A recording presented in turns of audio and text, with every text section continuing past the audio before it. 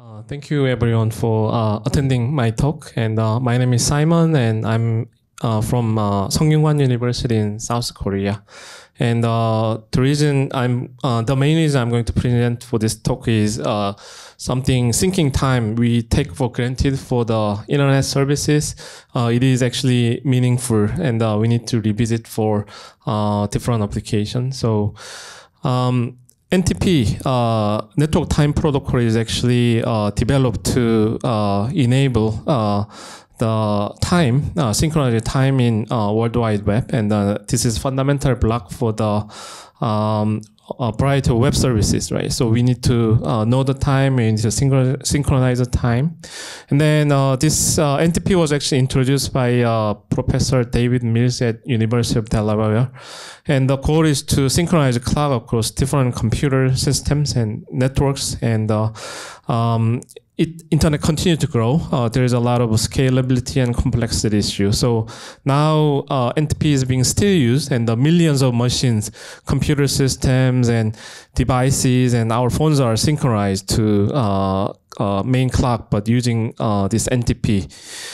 So uh, NTP actually proposed in 1985 as RFC, and it is pretty old. And the simple idea about NTP is uh, shown in this slide. So basically, we have uh, two nodes. Uh, one is time server, who has accurate time, and then uh, time client, who want to deliver, uh, propagate the time uh, to the time client. And these simple magic formula actually offset and delay at each node compute and synchronize uh, time on both sides. So uh, B time client is the one that want to uh, his clock is want to be synchronized with time server, and uh, uh, the assumption in this formula is uh, we are in general the the paths are symmetric. so the the distance between these two are similar, and then assuming no errors in the link, so that you know the NTP packet being sent does not drop. And uh, uh, and also uh, there are several different assumptions uh, to enable this.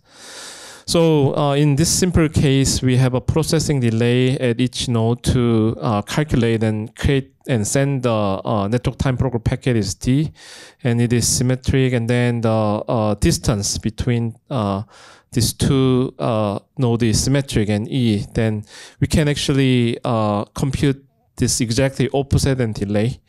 And then uh, this amount of uh, offset and delay, uh, it can exactly uh, synchronize uh, one to another. So this is a very simplified picture of uh, time synchronization uh, between two nodes. However, in real world, um, there are errors and uh, paths between A and B is asymmetric. So the actual NTP operation is much little more and much more complex, but this is how time can be synchronized and propagate and distribute from one node to another. And another uh, feature about NTP is, is, a hierarchical structure. So uh, main uh, time server is actually has the most accurate time uh, information uh, sync to GPS, and uh, Stratum one is next accurate time server client, and then it send the time to uh, next level. Uh, so it is hierarchical uh, structures that, that deliver the time. And also it can uh, deliver the time to in the uh, neighborhood as well. So um, now we are using NTP uh, almost everywhere for the terrestrial network to enable different types of web services and internet. And also once we have considered providing internet and web services for the space. So it's called the interplanetary internet.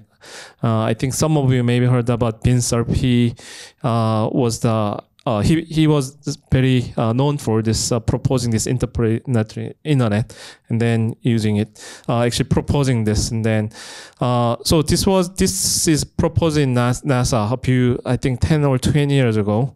And uh, still um, envisioned but we are not quite there yet to provide the web services in space yet so these are the Earths, uh, and uh, these are the uh, satellite, and then um, uh, this can be a Mars here, Mars network. There are a lot of uh, satellite and rovers and uh, are there. So how we can actually send some uh, information like communicate over the communication link, deep space link, how we can actually send the uh, command and files and uh, enabling different types of web service is uh, how we can do that is a quick question, but uh, we are not there yet. But uh, this is something we have to consider in the future.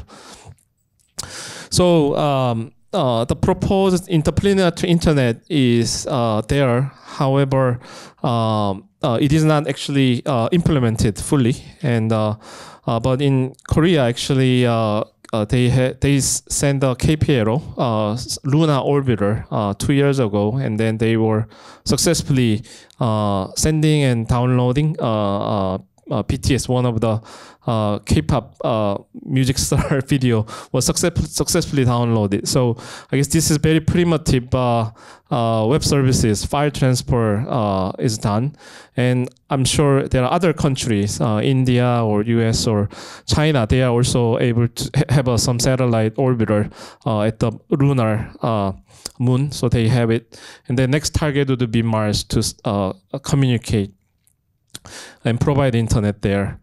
And uh, this is actually a news article uh, I just uh, uh searched uh, uh, this week. And the May 14th, SpaceX and Blue Origin is also interested in Mars or internet, interplanetary internet. So internet and web services, I think people are and interested in expanding it beyond the Earth.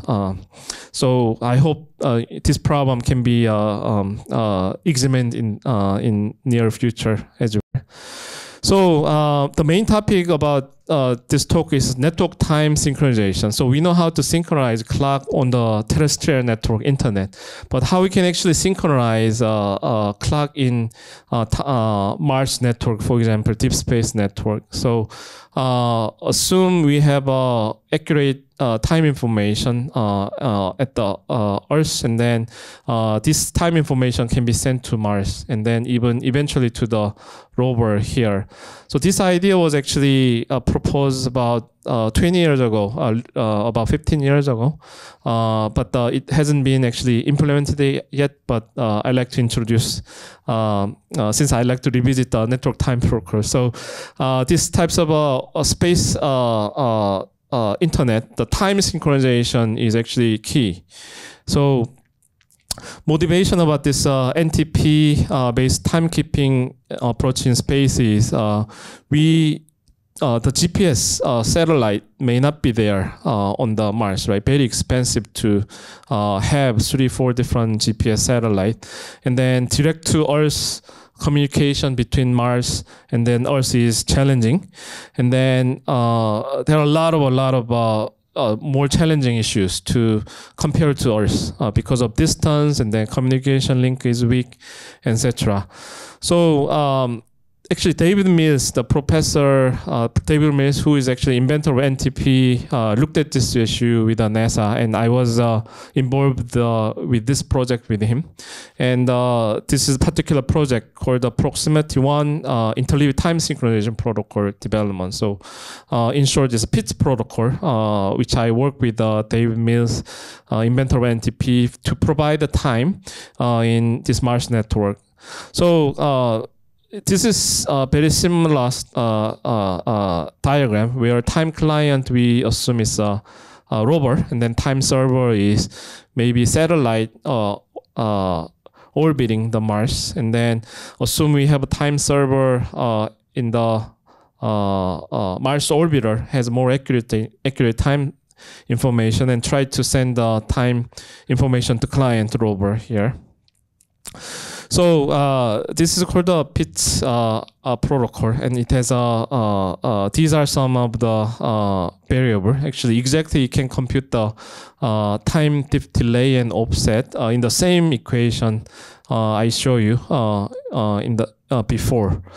So it has a, a, symmetric mode, and then it has a, a interleaved mode. But symmetric mode is actually not as accurate because we are sending uh, time information in the packet.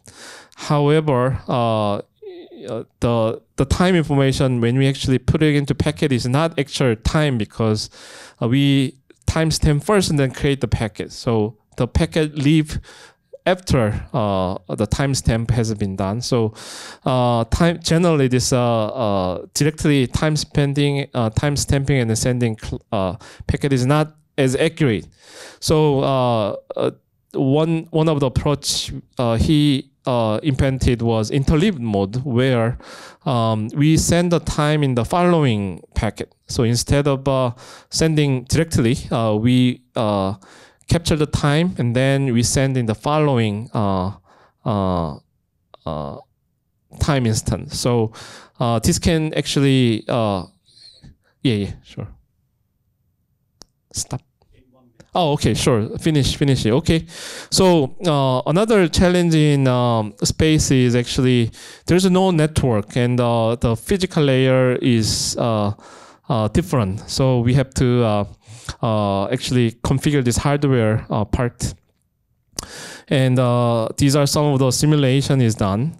So the main reason I am I like to present this paper is actually unfortunately David Mills who he's actually uh, worked a lot, and uh, I think he was a pioneer uh, on this internet and worldwide. They actually passed away this year, January. So uh, I, think Vint Cerf was the father of internet, and some people say David Mills was a grandfather. And I, I'm, I think he actually uh, deserve uh, uh, more recognition personally. And then he did a tremendous of important uh, actually uh, work uh, for the internet and www. So I like to actually. revisit and acknowledge his work and his legacy. I think he can be extended to space near soon. Yeah. So this is uh yeah my my last talk and this acknowledgement. Yeah. Thank you. Yeah.